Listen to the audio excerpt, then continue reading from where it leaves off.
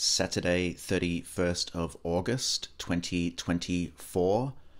Good morning, Naarm. Up bright and early, a stranger at the cafe said that they liked my jumper. Had a coffee and a banana at the Shrine of Remembrance. I was hoping to see some hot air balloons floating around the city, but no such luck. Did dishes at the hotel room, set up canvases and paints. I'm hoping to do some painting over this weekend.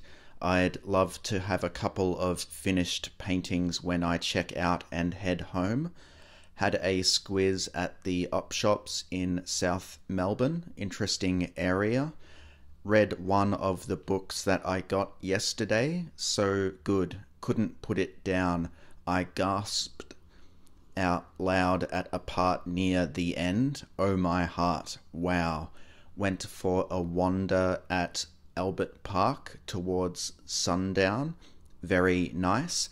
I was going going to go home tomorrow, but I'm feeling very comfortable here, so I added added one more night, made dinner at the hotel early night. I was thinking of going out night clubbing, but like I said, I was cozy in the hotel room, so I had snacks and had an early night. Mood 7.5, energy 6.5 moods content, grateful, amazing ending to Lie with Me by Philippe Besson.